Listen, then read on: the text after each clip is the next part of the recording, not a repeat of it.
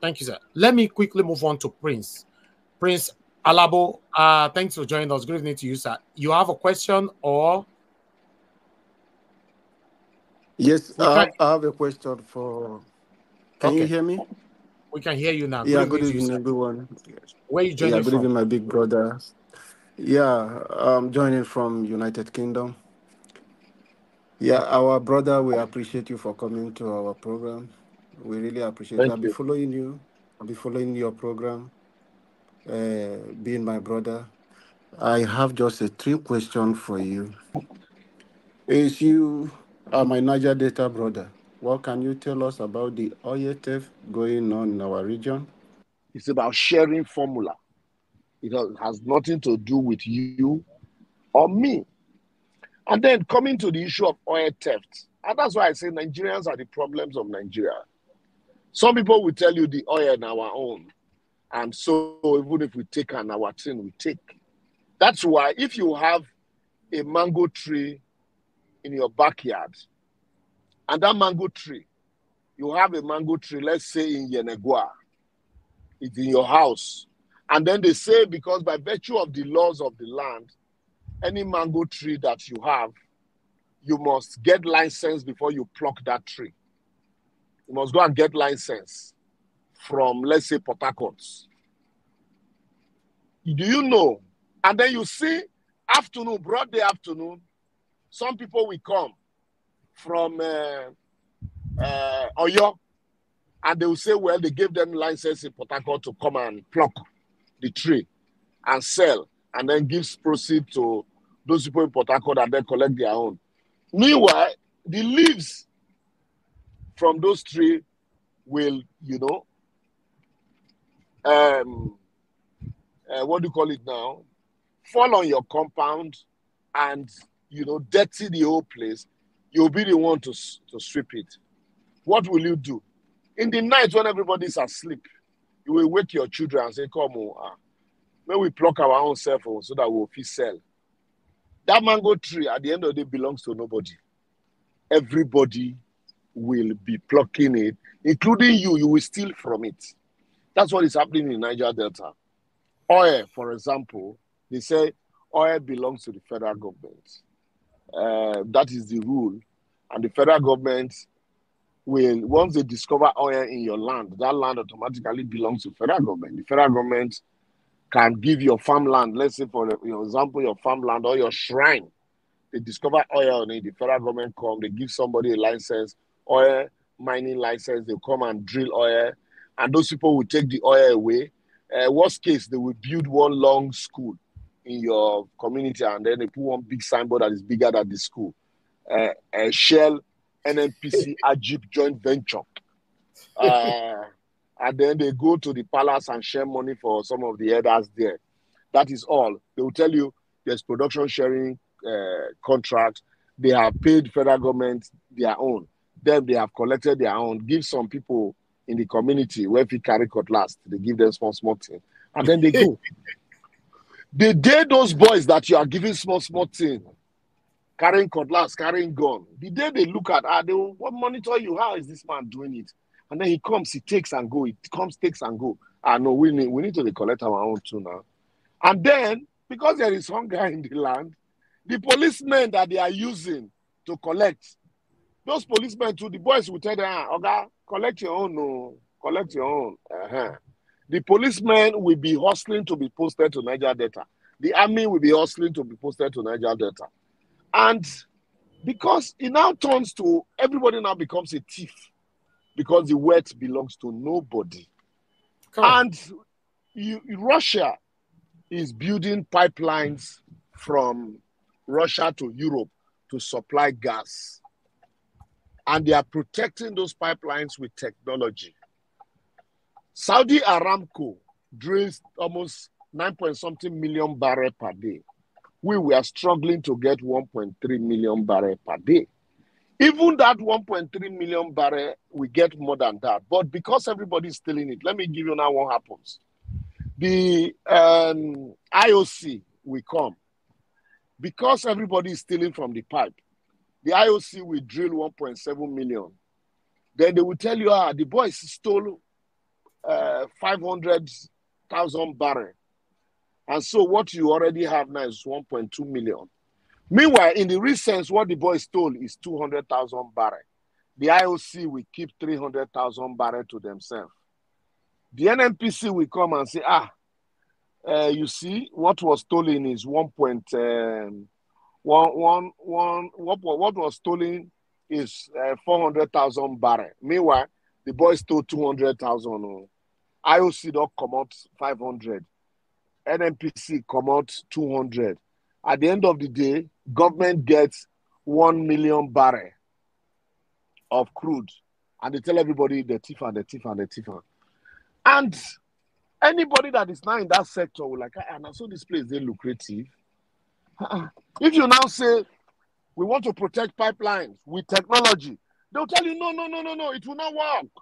It won't work. No, it can't work that way. We have to do it the way we're doing it. The IOC will sponsor people, the police will sponsor people, the community will sponsor people, um, even the oil companies will sponsor people because that are food where everybody they chop. They will now come with one very stupid and useless slogan and say, now where person they work now in the chop. That's exactly. why it is called workshop. So hmm. then that same person, he comes to Lagos, he buys property. He goes to Dubai, he buys property. He goes to London, he buys property. And then he comes back, he comes on air and say, Nigeria is so corrupt. Nigeria is this, Nigeria is that. Election comes, he will sponsor uh, candidates to go there and ensure that status quo is maintained. He gets the contract to continue to uh, invest in uh, pipeline protection or drilling. And then it, he tells you, and then tomorrow they'll give him chieftaincy title. They'll say, oh, this man is a philanthropist, he's an investor, he's this. And then you check records.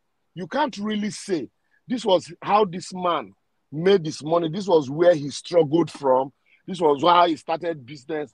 But all you just knew, all you know of him is that one day he just got one government contract and boom, he became a multi-billionaire. That's what is happening in the Niger Delta. That to the extent that people who also were used for election, all those small, small boys, election come, you buy gun, give them, say you have to protect me. Oh. Once I get there, I will remember you. They protect you. They get there, you get there, you forget them. You think now you have arrived. Those boys now will not carry those guns and begin to terrorize everywhere because also they need to eke out a living. And so gradually from 1999 date, it is getting worse. So, my brother, now we they do ourselves. Nobody they do us. I can give you categorically, I'm saying this now, sorry. One of these government regulator regulatory agency, when they brought a new uh, executive director, and the man said, from now, you know, before now, before now, DPRO, if you come to buy crude from Nigerian uh, uh, Nigeria, the crude you are buying, nobody measures it here. Oh. If you are taking the crude to Poland, they call it output measurement. They will tell you will load the vessel here in, in, in Nigeria, in Niger Delta. And then the man who is going to measure it, government agent, who is going to measure it, you, the person that is buying, we pay for his flight ticket to Poland. He will fly to Poland and go and wait for you in the hotel.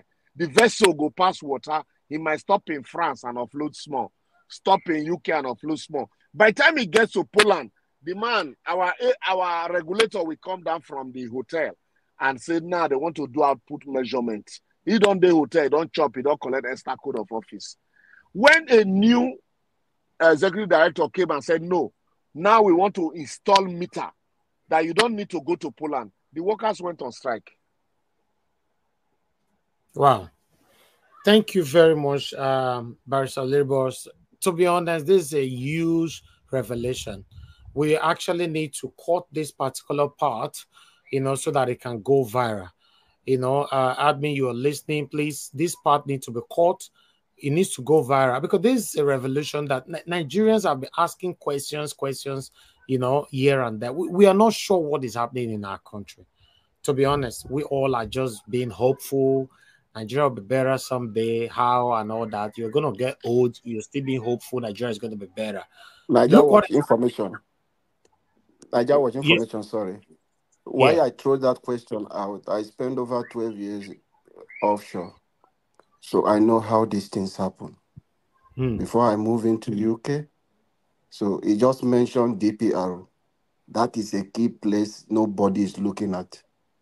Those people are dangerous. When we are talking about the output, those are the people they spend their time, they stay in the FPSO. They are the people there where you load out this oil. So those are the people more the key problem, not just NNPC without this DPR. Thank they you. are all over every FPSO. So I want uh, our brother Oshoma to do a little check on, on those people to look at their I activity. You will If I out. did it, I won't be giving you all this privileged information. I have. Exactly. Yeah.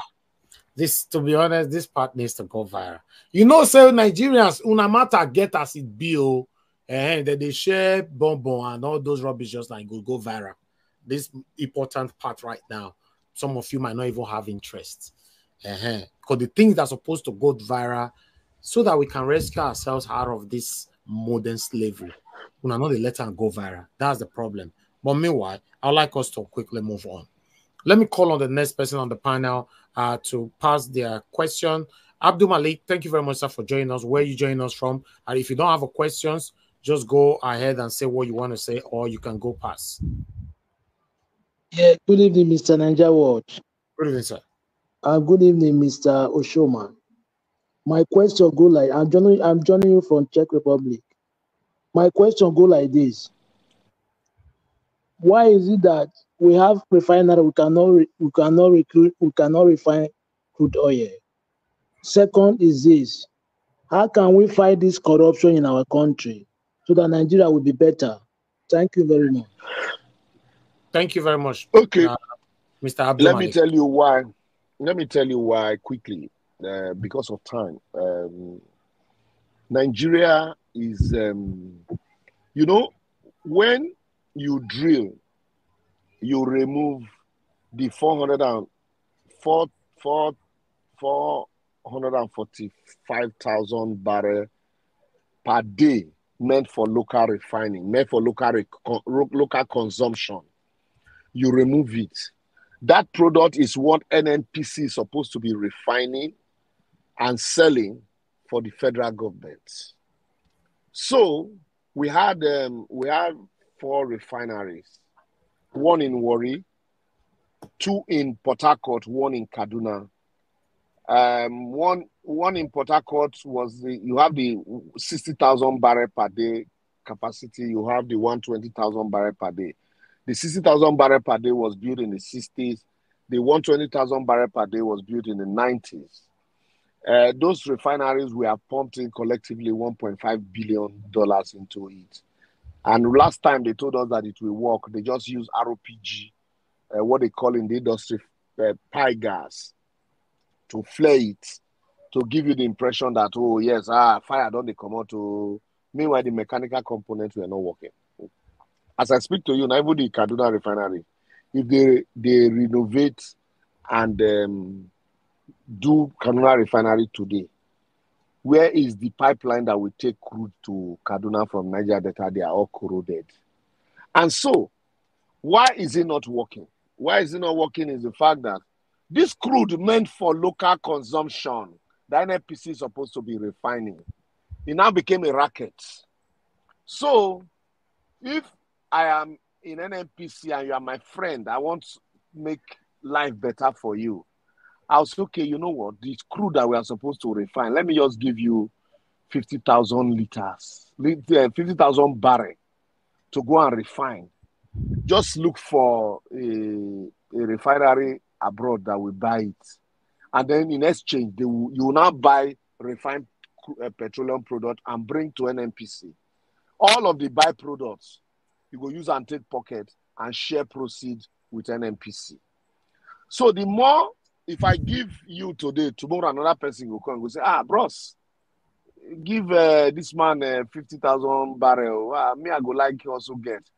They gradually started empowering their men And so refinery, where they know they put crude, the plants, you know, started being corroded. Uh, the pipelines were corroded. The pipe, the plants, when no they work, you know, their machineries, when you know they work, it goes stiff.